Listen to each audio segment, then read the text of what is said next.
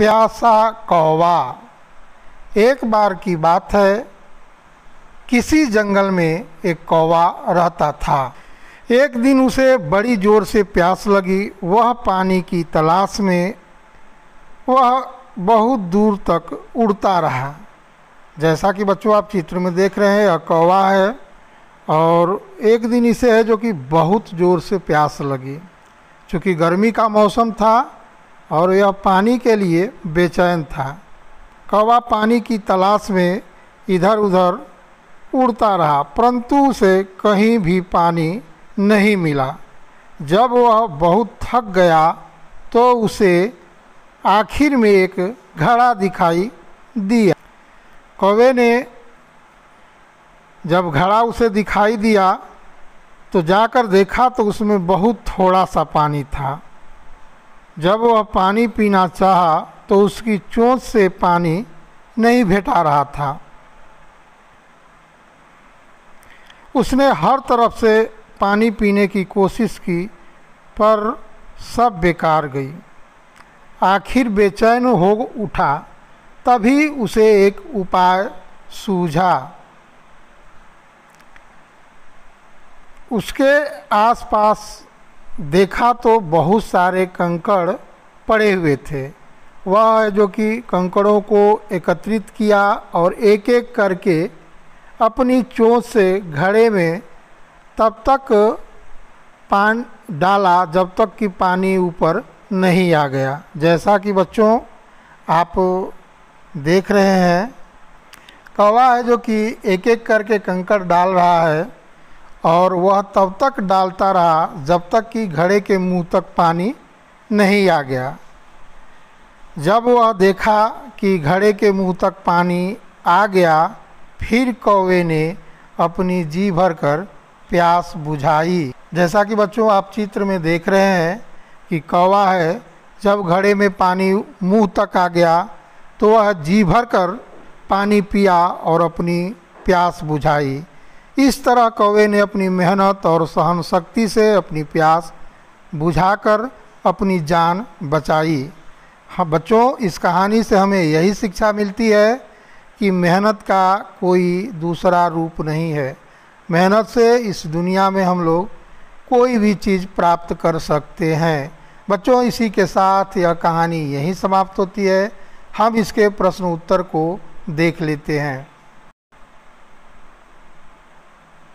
चलिए, अब पहला अभ्यास हम देखते हैं कि पहले चित्र में कौवा है जो पेड़ के डाल पर बैठा है, दूसरे चित्र में कौवा है जो कि उड़ रहा है, तीसरे चित्र में कौवे को एक घड़ा दिखाई देता है, चौथे चित्र में कौवा घड़े के पास जाकर देखता है तो उसमें पानी है।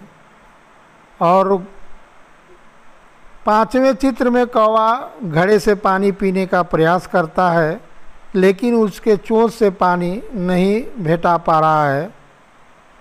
छठवें चित्र में कौवा है जो कि पानी से पीने के लिए बेचैन हो उठाता है और इसके बाद है जो कि वह एक उपाय सोचने लगता है।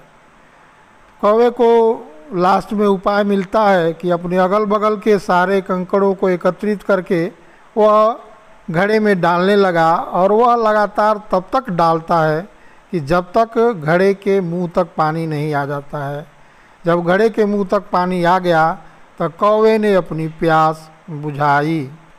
जैसा कि बच्चों, आप चित्र में देख रहे हैं कि पहले चित्र में कौवा है जो कि प्यास से व्याकुल डाल पर बैठा है, दूसरे चित्र में कौवा उड़ रहा है। इसलिए उड़ रहा है कि उसे प्यास लगी थी, वह पानी की खोज में इधर उधर उड़ रहा है।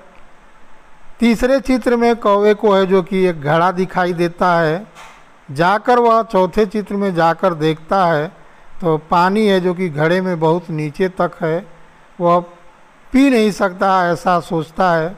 चलिए इसके प्रश्नों को हम लोग देख लेते हैं। तो पहला प्रश्न है, कौवा किसकी तलाश में उड़ रहा है? तो हम उत्तर लिखेंगे कि कौवा पानी की तलाश में उड़ रहा है। ख है कि कौवे ने उड़ते उड़ते क्या देखा? तो कौवे ने उड़ते उड़ते घड़ा देखा। कौवे की चोंच पानी तक पहुँच पाई या नहीं तो उत्तर लिखेंगे कि कौवे की चोंच पानी तक नहीं पहुँच पाई।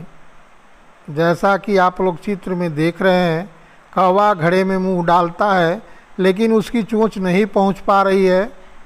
फिर उपाय लगता है सोचने, तब उसे एक उपाय सूझता है कि अपने अगल बगल के कंकड़ों को इकट्ठा करके वह घड़े में डालना शुरू करता है, और फिर जब घड़े का पानी मुँह तक आ जाता है तो अपना प्यास बुझा पाता है।